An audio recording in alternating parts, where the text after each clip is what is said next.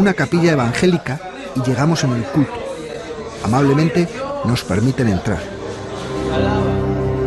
Lurigancho es la última parada de un tren violento que arranca en una esquina de cualquier calle deprimida, de cualquier ciudad del sur, de cualquier país del llamado tercer mundo. Cualquier opción es buena para bajarse. Estos jóvenes lo intentan abrazando la Biblia. Lo importante es salir de aquí sin muchas cicatrices en el cuerpo y en el alma. La forma da lo mismo.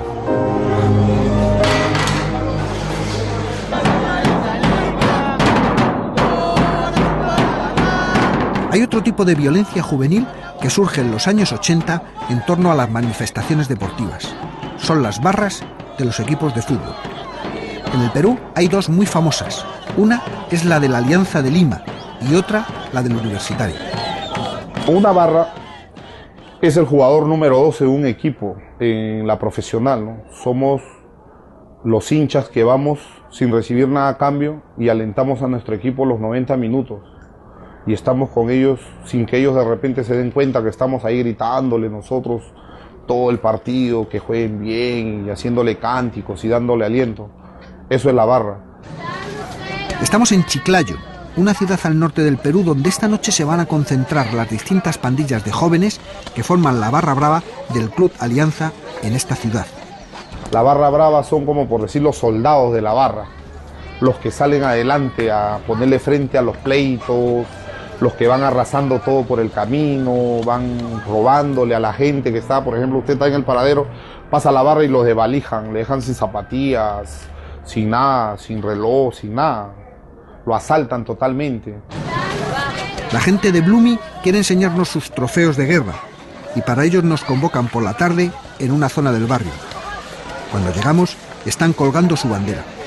Cada bandera es- tiene una responsabilidad grande, cuidarla, cuidarla con tu vida si puedes. Te puedo perder la vida, pero la bandera no. Al igual que la bandera, cada joven de la pandilla tiene un polo del equipo que le identifica como miembro de la barra brava. Mil veces es morir muriendo por alianza y no dejar que quitaran el polo. ¿no? Cuando dos pandillas de distintos equipos se encuentran fuera del campo o en los barrios, la violencia está servida. ¿Pero liáis a puñetazos? Claro, pe, le metemos cuchillo. ¿Le metéis cuchillo? Claro, de ley. De ley, de ley, de ley. ¿De ley? Ah, ¿Aunque le mates? Claro, lo dejo tirado. Este polo lo, lo, lo agarré un cabro, le metí un puntazo así. Y se lo quité. Pero acá lo tenemos el polo. Toda la gente lo, lo este polo. En este momento tenemos un problema significativo, no los niveles de violencia que hay en otros lugares, pero sí significativo, hasta el punto que ya el ir a un encuentro deportivo empieza a transformarse en un cierto riesgo para la población eh, y todo el mundo mide el nivel de conflicto que se pueda generar y no encontramos en realidad eh, encuentros futbolísticos en donde nosotros podamos decir vamos con absoluta seguridad, eh, sino que ya todos como ciudadanos reflexionamos respecto al riesgo. ¿no? Y que si tengan tantos huevos que vengan a Micaela y vengan a recuperar sus trofeos, su polito de su cagada. su bandera.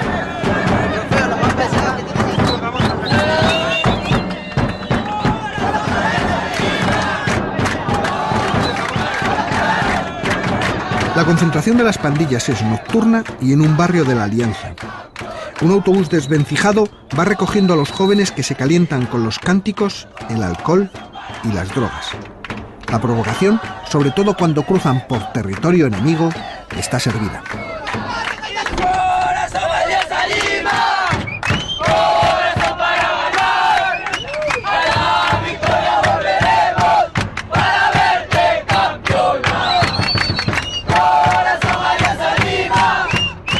La concentración es multitudinaria. Esta noche se han juntado aquí más de 150 jóvenes.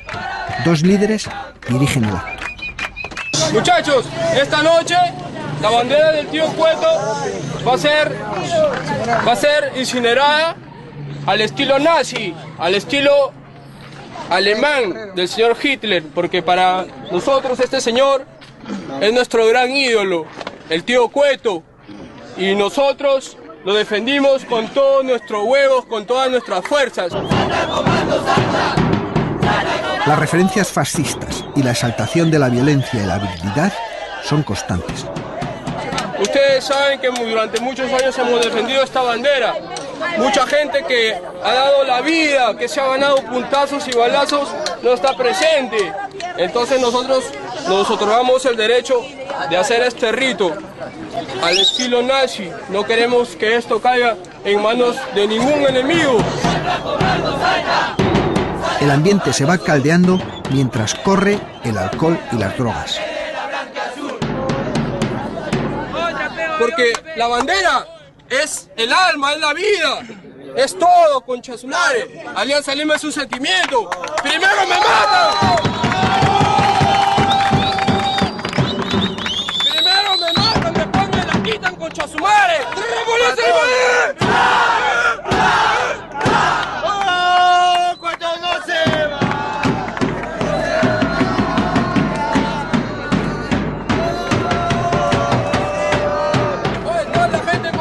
Nazi, carajo, con la izquierda. La despedida de nuestro Walter, Walter Arias. ¡Cueto!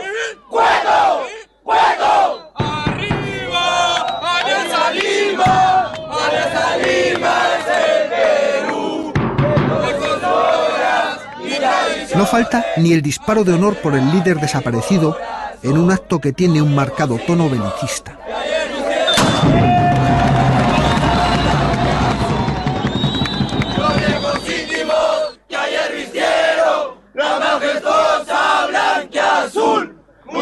El himno de la alianza une a todos. Muchos de estos jóvenes han llegado aquí cargados de cuchillos, machetes y armas de fuego, para protegerse y para agredir.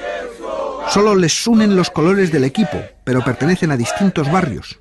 Y aunque cantan la misma letra, viven enfrentados entre ellos, en un ambiente de violencia y desconfianza más fuerte que los colores del propio club al que le prometen lealtad eterna.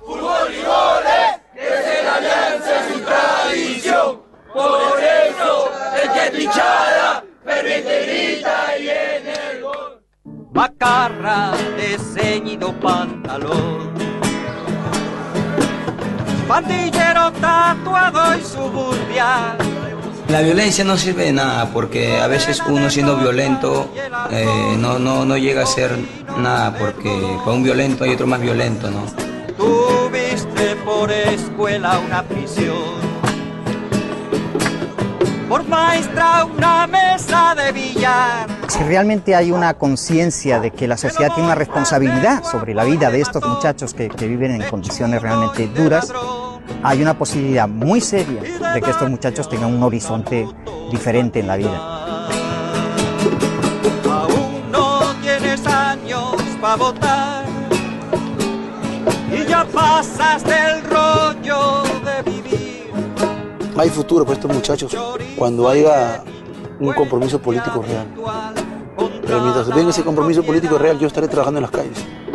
Una noche que andabas desarmado.